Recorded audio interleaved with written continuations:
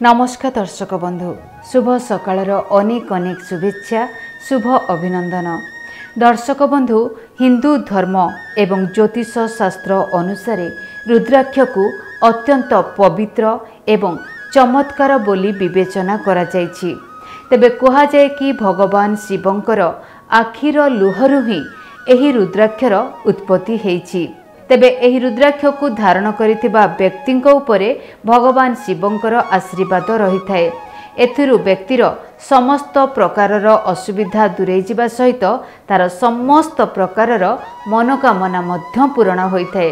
ତେବେ ବିଜ୍ଞାନରେ ରୁଦ୍ରାକ୍ଷକୁ ଅତ୍ୟନ୍ତ ପ୍ରଭାବଶାଳୀ ବୋଲି କୁହାଯାଇଥାଏ। ଏହା ଯୋଗୁଁ ଅନେକ ରୋଗରୁ ଆମକୁ ରକ୍ଷା ମିଳିଥାଏ। କୁଣ୍ଡଳୀରେ ଅନେକ ଦୋଷ ଦୂର କରିବା ପାଇଁ ଏହି ରୁଦ୍ରାକ୍ଷକୁ ଆମେମାନେ ବ୍ୟବହାର ମଧ୍ୟ କରିଥାନ୍ତି। ତେବେ ରୁଦ୍ରାକ୍ଷର ଲାଭ ଉଠାଇବାକୁ ଯଦି ଆପଣମାନେ ଚାହୁଁଛନ୍ତି ତାହେଲେ ଅନେକ କିଛି ବିଧିବିଧାନ ପାଳନ କରିବା ଉଚିତ।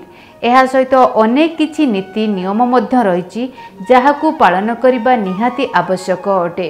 ଯଦି ରୁଦ୍ରାକ୍ଷ ପିନ୍ଧିଥିବା ବ୍ୟକ୍ତି ଏହି ନୀତି ନିୟମକୁ ପାଳନ ନ କରନ୍ତି ତେବେ ଭଗବାନ ଶିବ କ୍ରୋଧିତ ହୋଇପାରନ୍ତି।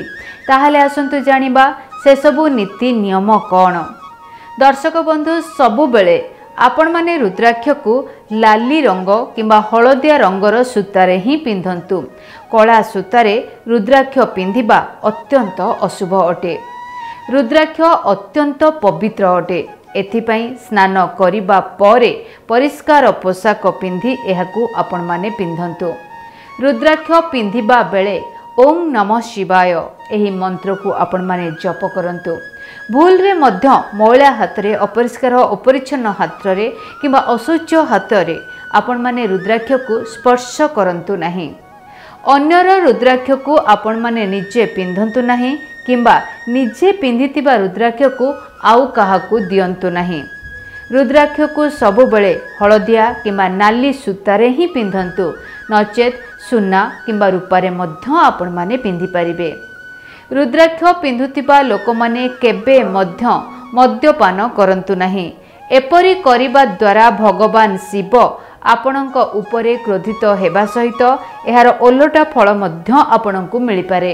ତେବେ ଦର୍ଶକ ବନ୍ଧୁ ଯଦି କୌଣସି ବିପଦରୁ ଆପଣମାନେ ରକ୍ଷା ପାଇବା ପାଇଁ କିମ୍ବା ଆପଣଙ୍କର କୁଣ୍ଡଳୀରେ କୌଣସି ଦୋଷ ଥିବା କାରଣରୁ ଆପଣମାନେ ରୁଦ୍ରାକ୍ଷକୁ ଧାରଣ କରିବା ପାଇଁ ଚାହୁଁଛନ୍ତି ତାହେଲେ ନିର୍ଦ୍ଦିଷ୍ଟ ଭାବରେ ଏହି କିଛି ଦିଗ ପ୍ରତି ଆପଣମାନେ ଧ୍ୟାନ ଦିଅନ୍ତୁ ଯାହାଦ୍ୱାରା ଆପଣଙ୍କୁ ସୁଫଳ ପ୍ରାପ୍ତି ହେବ। ତାହେଲେ ଆସନ୍ତୁ ଏହି ଚିନ୍ତାଧାରା ସହିତ ଆଜିର ଏହି ଦିନର ଶୁଭାରମ୍ଭ କରିବା। ଆଜିର ଦିନ ଆପଣମାନଙ୍କ ପାଇଁ ଶୁଭମୟ ହେଉ ମଙ୍ଗଳମୟ ହେଉ। ଡିଟିଭି ଓଡ଼ିଆ ଦେଖିବା ପାଇଁ ସବସ୍କ୍ରାଇବ୍ କରନ୍ତୁ ଏବଂ ବେଲ୍ ଆଇକନ୍କୁ ମଧ୍ୟ ଦବାଇ ଦିଅନ୍ତୁ